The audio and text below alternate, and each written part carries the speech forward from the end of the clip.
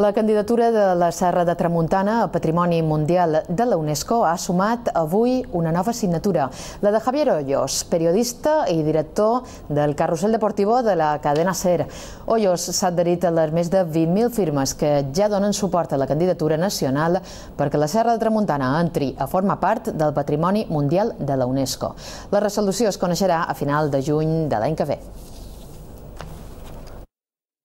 Soy un enamorado del deporte aventura, soy un enamorado de todo lo que tiene que ver con el,